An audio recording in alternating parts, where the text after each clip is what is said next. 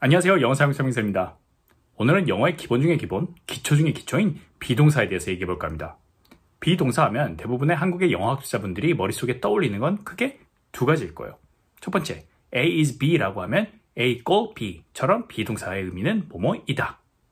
두 번째, 현재 진행형 BING, 수동태 BPP, 미래형 be going to, 그 외 be supposed to, be about to와 같이 딱히 의미는 없지만 그냥 공식처럼 외우는 비동사들. 네, 뭐 이게 다 틀린 말은 아니에요. 다만 정말 안타깝게도 우리가 학교나 학원에서 be동사를 이렇게 배웠다는 건 사실은 짧게는 10년, 길게는 평생 함께하고 있는 영어 공부의 첫 단추를 잘못 끼운 거나 마찬가지입니다. 이 be동사의 정체를 제대로 이해하기 위해서는 be동사 하나만 열심히 파헤쳐 보기보다는 다른 동사들과 함께 한 세트로 살펴볼 필요가 있는데요. 예를 들어 여기 I am hungry, I get hungry, stay hungry 라는 문장이 있습니다. I am hungry. 나는 배고프다. I get hungry after exercising. 나는 운동하고 나면 배 고파진다. Stay hungry. 스티브 잡스의 연설로 유명해진 멘트죠. 항상 배고파 해라. 의역하면 항상 갈망해라. 와 같은 의미죠. I am so hungry. And if you get hungry, and if you get hungry, there are rats living in the Christmas decorations. You gotta stay hungry. Stay foolish. 다 어렵지 않은 문장들이에요. 그럼 제가 이 문장들을 굳이 같이 보여드린 이유가 뭘까요? 그건 이 문장들이 영어 화자들이 머릿속에 갖고 있는 동사의 체계를 잘 보여주는 좋은 예시이기 때문이죠. 그리고 그 체계라는 건 바로 상태, 상태 변화, 그리고 상태 유지, 이 3종 세트입니다. 예를 들어 지금 고개를 들어 천장을 보시면 불이 켜져 있죠. 네, 현재 불이 켜져 있는 상태인 거죠. 하지만 불이 갑자기 꺼졌다가 다시 켜지면 꺼진 상태에서 켜진 상태로 네, 상태가 변화한 거죠. 그리고 마지막으로 불을 끄지 않고 나가면 계속 불이 켜져 있겠죠. 네, 바로 불이 켜진 상태의 유지라는 거죠. 그리고 오늘의 주인공 비동사는 바로 이 상태에 있다는 것을 나타내는 대표 동사로 현 시점에 그러한 상태에 있다와 같은 의미를 전달하는 거죠. 그리고 상태의 변화를 나타내는 여러 동사들 중 대표적인 동사가 바로 이 get 동사죠. 그런데 왜 득한다, 얻다는 의미로 알고 있는 동사 get이 상태의 변화를 나타내는 건지 의아하실 수도 있을 건데요. 흐름상 이에 대한 설명은 뒤에서 하도록 하겠습니다. 그리고 마지막으로 상태 유지를 나타내는 동사들에는 stay, keep, live, remain 등이 있습니다. 그럼 다시 아까 드린 예문으로 돌아와서 I am hungry, I get hungry, stay hungry 이 세 문장 다 hungry, 배고픈 상태를 나타내는 건 같지만 현 시점에 그러한 상태로 있다는 걸 나타내는 비동사를 통해 나는 지금 배가 고픈 상태다, 즉 배고프다. 그러한 상태로 변화한다는 것을 나타내는 동사 get을 통해서 배가 고픈 상태로 변한다, 즉 배고파진다 그리고 마지막으로 그러한 상태 유지를 나타내는 stay를 사용함으로써 직역하면 배고픈 상태에 머물러라. 즉, 만족하지 말고 계속 갈망해라. 와 같은 의미를 전달하고 있다는 거죠. 또 다른 예를 들어볼까요?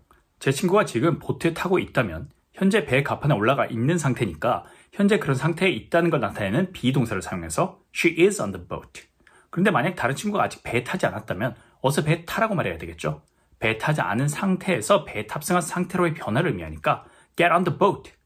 그래서 이제 목적지에 도착했는데 승무원이 배에 문제가 생겨서 배에서 내리지 말고 대기하세요 라고 말한다면 계속 배에 탑승한 상태를 유지하라는 의미로 stay on the boat 라고 한다는 거죠. He's alive and he's on this boat. He's alive and he's on this boat. Let's go. Get on the boat. Get on the boat. Stay on the boat if you want to.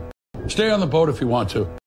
이세 문장 모두 마찬가지로 on the boat 라는 배에 탑승한 상태를 얘기하는 건 같지만 비동사, 동사 get, stay를 사용함으로써 전혀 다른 의미와 뉘앙스를 전달하고 있다는 거죠.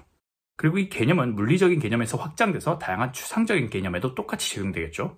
예를 들어 I am in trouble 이라는 문장이 있다면 in trouble, 곤경에 빠져 있는 상태 플러스 be동사니까 현재 그런 상황에 처해 있다는 걸 나타내는 거고 합치면 나는 현재 곤경에 처한 상황이다 라는 거죠. Trouble. I'm in trouble. 이번엔 누군가가 곤란한 부탁 혹은 질문을 한다고 해볼게요. 저라면 um, I don't want to get in trouble 라고 말할 것 같은데요. 조금 전에 보여드린 배에 탑승하는 그림과 마찬가지로 그렇지 않은 상태에서 공경에 빠지게 된 상황으로의 변화를 원치 않는다. 즉 나는 곤란한 상황에 빠지고 싶지 않아. 경우에 따라 윗사람에게 혼날 상황을 원치 않는다 정도로 해석할 수 있겠죠. 그리고 마지막으로 상태 유지를 예로 들어보려고 하니까 in trouble 공경에 처한 상태를 유지한다는 게 문맥상 좀 이상하죠. 그래서 보통 원어민들은 그 반대로 stay out of trouble 라는 표현을 아주 자주 사용하는데요. 직역하면 곤란한 상황에서 항상 벗어나 있어라. 의역하면 말썽 부리지 마라. 인 거죠. I just don't want to get in trouble. I just don't want to get in trouble. Stay out of trouble. Stay out of trouble. 그리고 추가로 같은 그림으로 on a mission, on a diet 와 같이 어떤 임무에 이렇게 붙어서 수행 중인 상태를 on을 사용해서 표현하곤 하는데요. 이 역시 현재 그런 상태에 있으면 he is on a mission, I am on a diet와 같이 표현하죠. He's on a mission, sir. He's on a mission, sir, in Austria. I am on a diet. I am on a diet. Started last week. Me too. Started when I was 14. I'm on the phone. I'm on the phone. 그리고 만약 그런 상태 아니었는데 그 상태로 변하면 아, 물론 get도 가능하지만 이 경우에는 그러한 상태로의 이동의 그림으로 go on a mission, go on a diet로 표현하는 게 더 일반적입니다.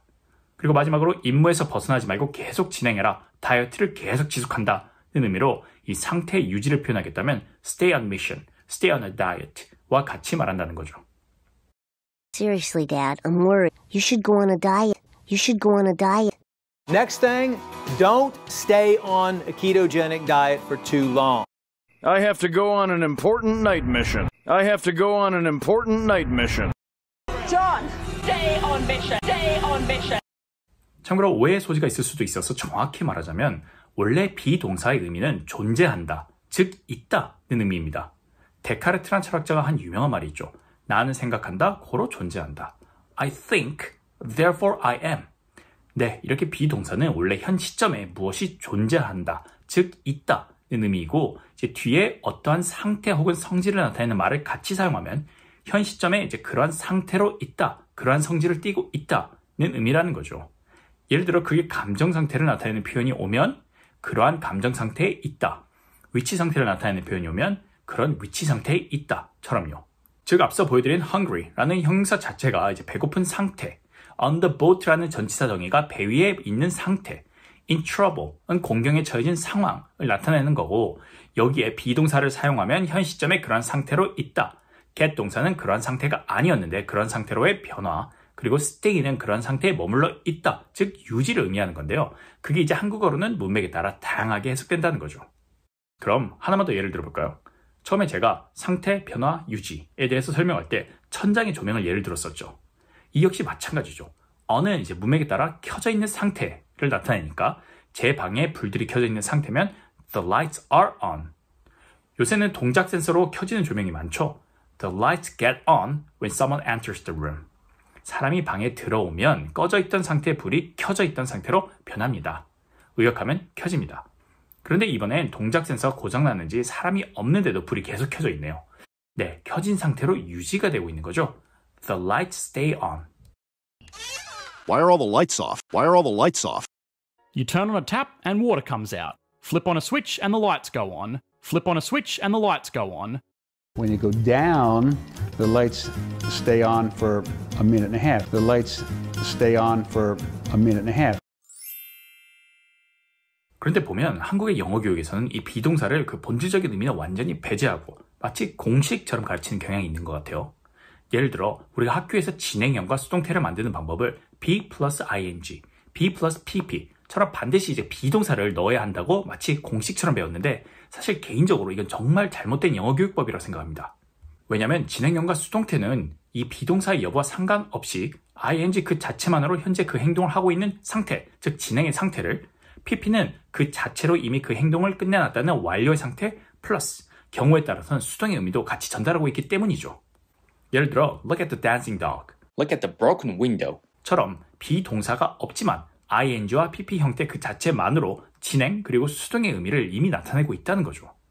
And just look at the dancing hot dog. And just look at the dancing hot dog. Look at the broken locks and chains that look at the broken locks and chains that 그리고 여기에 비동사를 더해주면 어디까지나 현 시점에 그러한 상태로 있다라는 걸 나타낼 뿐이지 비동사가 반드시 진행형과 수동태를 만들기 위한 필수 요소는 아니라는 거죠. 예를 들어 he's moving 이라고 하면 현재 그 사람이 움직이고 있는 상태라는 걸 의미하는 거고 만약에 그 사람에게 계속 움직이라고 말하려면 이 상태의 유지를 나타내는 keep을 사용해서 keep moving 이라고 하겠죠. 그리고 이번엔 어서 이동을 해야 하는데 계속 그 자리에서 꿈을 대고 있는 상황이라면 이 재촉하는 뉘앙스로 get moving 이라고도 하죠. 직역하면 이제 움직이지 않는 상대에게 움직이고 있는 상태로 변해라 와 같이 긴급함의 뉘앙스를 전달하는 거죠. 그리고 비슷한 의미로 we gotta get going 이라는 표현도 자주 사용됩니다. Honey, he's not moving. Is he okay? Let's get moving. Let's get moving. We uh, we gotta get going. We gotta get going. Keep moving. Keep moving. Keep moving. 마찬가지로 수동태의 경우 역시 the door is closed, the window is broken과 같은 이제 상태 수동태의 경우 완료와 수동의 상태를 나타내는 pp에 비동사를 같이 사용해서 현 시점에 그 행동이 완료된 상태로 있다. 즉 문이 닫힌 상태로 창문이 깨진 상태로 있다는 걸 나타내는 거죠. 그리고 비동사 대신 상태 변화를 나타내는 get을 사용해서 the door gets closed 라고 하면 열린 상태에서 닫힌 상태로의 변화, 즉 문이 닫혀진다 는 의미. 그리고 계속 문이 닫힌 상태로 유지된다면 the door stays closed 라고 하겠죠. 참고로 상태 수동태와 동작 수동태의 차이를 포함해서 이제 수동태에 대해 더 자세한 내용은 여기 제 이전 영상을 참고해 주세요. But on their way out, the door gets closed before Ellie can leave. The door gets closed before Ellie can leave. You just want to close the safety pin so it stays closed. So it stays closed. Go get dressed. I am dressed. Go get dressed. I am dressed. 어? 그런데 이 진행형과 수동태 활용이 방금 앞에서 본 hungry 예시처럼 이 형용사의 활용과 거의 같죠? 네, 맞아요. Ing와 pp는 이제 동사뿐 아니라 형용사와 역할을 share, 즉 나눠 가진다고 해서 애초에 나눈다는 의미로 분사라고 하는 거죠. 결국 이 ing와 pp는 이제 다른 형용사들과 마찬가지로 진행 중인 상태, 완료된 상태를 나타내는 역할을 할 뿐이지 이건 절대 과거, 현재, 미래와 같은 시제와 혼동해서는 안 된다는 거죠. 그리고 보시다시피 이 진행의 ing와 수동의 pp 역시 비동사뿐 아니라 그 외 동사들과의 조합으로 다양한 의미를 전달하는데 학교나 학원에서는 이걸 공식적으로 무조건 비동사에서만 묶어서 가르치니까 지금껏 이 ing와 pp를 자유롭게 활용하지 못했다는 거죠. 그리고 이 비동사는 반드시 현재 시점의 상태만 나타내는 건 아니겠죠. 당연히 과거의 시점에서는 예를 들어 아침에는 그런 상태였다 라고 말하려면 비동사의 과거형을 사용해서 I was hungry in the morning. She was on the boat in the morning. The door was closed in the morning. 과 같이 말해준다는 거죠. No, all of the lights were on. All of the lights were on. Cindy, don't you know how to knock? Yes, but the door wasn't closed. But the door wasn't closed. 그리고 will과 같은 조동사를 사용하면 앞으로의 일에 대한, 즉 미래 시점에서 어떤 상태일 거라는 걸 나타내는 거겠죠. 예를 들어, The store will be closed on Monday. 월요일에는 가게가 닫혀 있는 상태일 거야. 즉 월요일에는 문을 닫을 거야. 친구가 다이어트 한다고 이제 끼니를 거른다고 하네요. You'll be hungry later. 너 나중에 배고픈 상태가 되어 있을 거야. 의역하면 너 나중에 배고플 거야. 친구가 밤 11시에 전화한다고 하네요. I'll be sleeping by then. 그때쯤엔 난 자고 있는 상태일 거야. 즉 자고 있을 거야. So, the store will be closed for a few days. The store will be closed for a few days to repair all the water damage. Can I try you back at 1300 Forest? I'll be sleeping. I'll be sleeping. It's like 3 a.m. 마지막으로 친구와 약속을 잡으면서 I'll be there at 7. 7시에 내가 거기 가 있는 상태가 돼 있을게. 즉 7시에 갈게 와 같은 의미를 전달하는 거죠.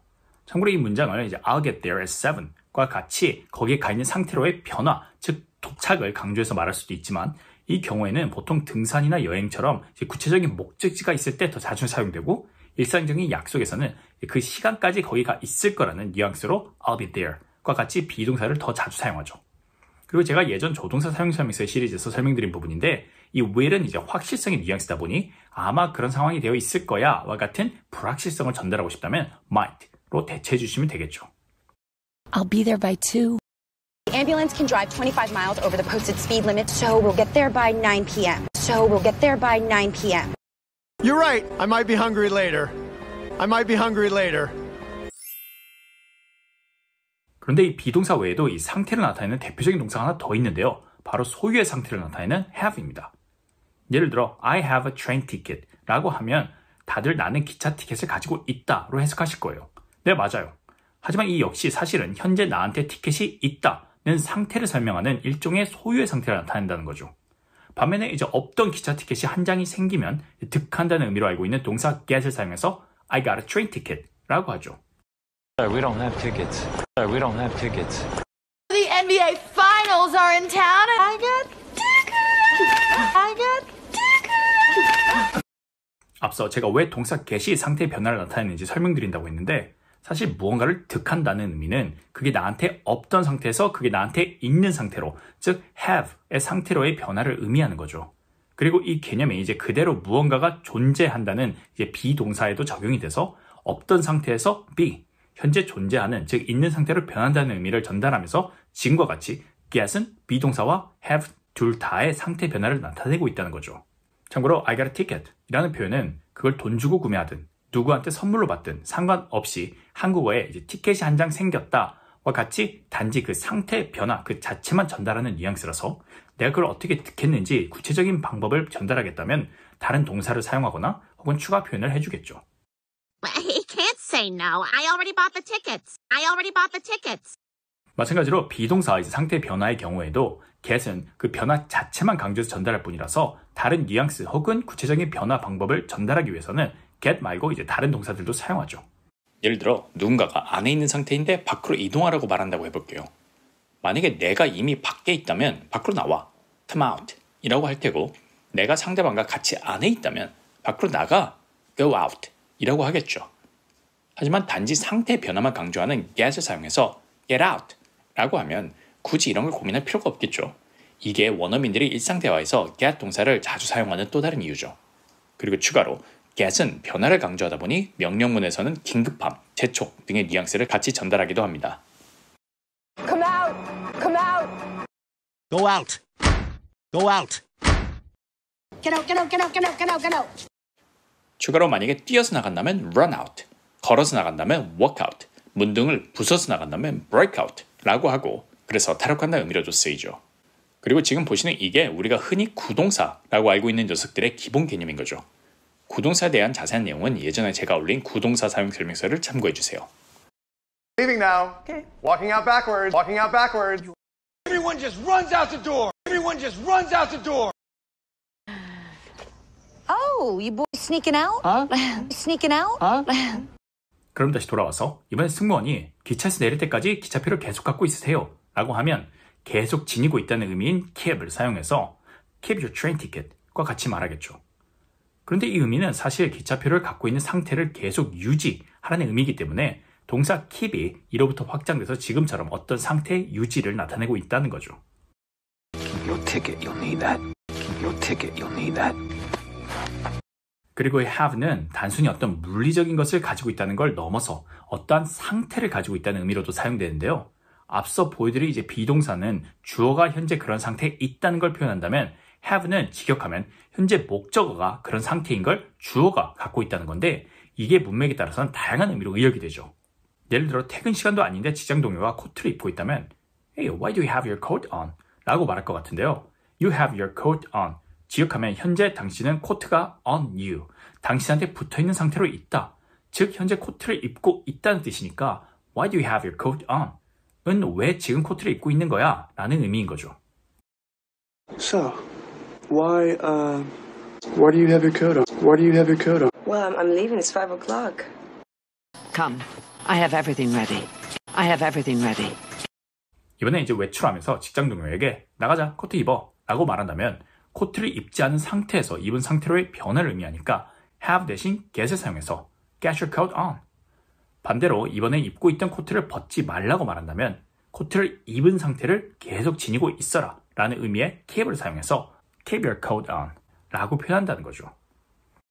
Get your coat on. Get your coat on. Wait! Keep your coats on! Keep your coats on! We'll get everything ready. We'll get everything ready. 참고로 이 형태는 앞서 보여드렸던 비동사 예문들에도 똑같이 적용돼서 get the lights on, keep the lights on, 불을 켜라, 불을 계속 켜둬라. I don't want to get anyone in trouble. 누구도 곤란한 상황에 처하게 하고 싶지 않아요. 와 같이 자주 사용되죠. Get get. We're gonna keep the lights on. We're gonna keep the door open. We're gonna keep the lights on. We're gonna keep the door open. I don't want to get anyone in trouble. I don't want to get anyone in trouble. 마찬가지로 이 상태를 나타내는 위치에 진행의 상태인 ing를 적용할 수도 있겠죠. 예를 들어 겨울철에 이제 차 시동을 미리 걸어놓고 지금 차 시동 걸어놨어 라고 하죠. 현재 내가 차 시동을 켜놓은 상태, 즉 엔진이 돌고 있는 상태를 have, 내가 현재 지니고 있다는 의미로 I have the engine running. 만약에 시동이 안 걸린다면 엔진이 돌고 있는 상태로 내가 변화시킬 수 없으니까 I can't get the engine running. 시동을 계속 걸어두라고 말한다면 엔진이 돌고 있는 상황을 계속 유지하라고 명령하는 거니까 keep the engine running. 과 같이 말한다는 거죠. I guess if you have your engine running, it's if you have your engine running, it's not great. It's uh, adding pollution. Keep the engine running. Keep the engine running. Can he get it running again? Can he get it running again? 마찬가지로 완료 혹은 수동의 상태를 나타내는 PP도 자주 사용되는데요. 예를 들어 회사에서 자주 쓰이는 표현 중에 get it done first와 let's get this meeting started 라는 말이 있는데요. get it done first 그것부터 끝난 상태로 변화시켜라. 즉 그것부터 해놔라. 끝내놔라. let's get this meeting started 이 미팅을 시작된 상태로 변화시키자. 즉 이제 그만 미팅을 시작합시다. 와 같이 이제 상태 변화를 강조하면서 긴급함 혹은 재촉하는 뉘앙스를 전달하는 거죠. Let's go! Let's get it done! Let's get it done! Right, let's get this meeting started. Let's get this meeting started. All right, well, let's get this party started. Let's get this party started. Come on. 추가로 I need to get my car fixed 라고 하면 어떤 뉘앙스로 들리시나요? fixed, 완료와 수동의 의미를 함께 지니고 있으니 자동차가 수리된 상태니까 나는 자동차를 수리된 상태로 변화시켜야 해 인데 이걸 이제 수리한 사람이 누구든 상관없이 수리된 상태로의 변화만 강조하다 보니 타인을 통해 수리된 상태로의 변화라는 의미도 전달해서 문맥에 따라서는 자동차 수리를 받아야 해, 수리를 맡겨야 해와 같이도 의역이 되죠. 참고로 have 목적어 pp 역시 이와 비슷한 의미를 전달하기도 하는데 이 녀석들은 향후 사역 동사에 대해 다룰 때 더 자세히 다뤄보도록 하겠습니다. I need to get my brake light fixed. I need to get my brake light fixed. 그런데 그럼 have pp는 어떤 의미일까요? 네, 현재 시점에 pp, 즉 그걸 이미 끝내놓은 상황을 지니고 있다는 의미인데 이게 문맥에 따라 참 다양하게 해석되죠. 예를 들어 I've done it 라는 문장이 있다면 문맥에 따라 드디어 그걸 끝내 버렸다 혹은 그걸 저질러 버렸다 이미 그걸 해놨다 그리고 이미 그걸 해봤다 와 같은 다양한 뉘앙스를 전달한다는 거죠. Mr. Spacely, I've done it. I've done it at last. I've done it. I've done it at last. Mr. Laswell, I've done it again. I've done it again. What time is it? I've already done all my homework. I've already done all my homework. Honey, relax. Getting married is easy. I mean, I've already done it twice. I've already done it twice. 그리고 이미 눈치채셨겠지만 우린 이걸 현재 완료라고 부르죠. 이에 대해 더 자세한 내용은 제가 이전에 다룬 현재 완료 관련 영상들에서 확인해 주세요. 그런데 영상을 마무리하기 전에 비동사 관련해서 추가적으로 더 말씀드리고 싶은 부분이 있는데요. 첫 번째로 앞서 I'm hungry 라는 문장은 나는 현재 배고픈 상태다 라는 걸 의미한다고 했죠. 그런데 he's shy 라고 하면 어떻게 해석해야 될까요? 그는 부끄러워하는 상태다? 사실 이 부분은 좀 애매한 부분이 있는 게 shy와 같은 경우는 일시적인 상태라기보다는 그 사람의 성격을 표현한다는 점에서 그 뉘앙스가 hungry와는 좀 다르죠. 그런데 우리 가끔씩 이렇게 얘기도 하죠. 아, 얘가 원래 부끄러움 타는 애가 아닌데 오늘 엄청 부끄러움을 타네요. 그런데 방금 he's shy 라고 하면 그냥 부끄러움을 타는 성격을 의미한다고 했으니까 이 문장으로는 지금 하려는 말을 표현하기는 충분치 않겠네요. 그래서 이 경우에는 원래는 그런 성격이 아닌데 지금 순간에만 엄청 부끄러움을 타고 있는 상태다. 와 같은 의미로 진행의 상태 ing를 같이 사용해서 he is being super shy 라고 해준다는 거죠. Maybe he's being shy, which is not like Thomas. Maybe he's being shy, which is not like Thomas. 이 밖에도 he's being silly, I'm being serious 와 같이 평소와 달리 바보같이 군다, 진지하게 군다, 처럼 모모하게 굴다 와 같은 뉘앙스로 사용되기도 하죠. Being silly because he knows that we enjoy the silliness. He's being silly because he knows that we enjoy the silliness. Why are you being so serious? Why are you being so serious? Why are you being so nice? She's being a good daughter. Why are you being so nice? She's being a good daughter. 두 번째 포인트. 사실 이 부분은 굳이 아실 필요는 없지만 혹시 이전에 비동사를 공부하시는 분들 중에 이런 질문을 하실 수도 있을 것 같아서 미리 답을 해봅니다. 비동사가 이제 상태나 성질을 나타내는 거라면 I am a student. 나는 학생이다. 처럼 비동사 뒤에 명사가 오는 표현은 설명이 안 되는데요? 라고 질문하실 수 있는데요. 앞서 설명드렸듯이 비의 어원은 존재한다. 라서 뒤에 상태나 성질을 같이 사용하면 그런 상태로 존재한다. 로 해석한다고 했죠. 하지만 뒤에 명사가 온다면 본뜻 그대로 주어는 그런 존재다. 로 해석하는 게 더 자연스럽겠죠. 물론 a student 를 직업적 상태, 즉 어떤 신분의 상태로 볼 수도 있겠지만 설명이 길어질 것 같아서 여기까지만 하겠습니다.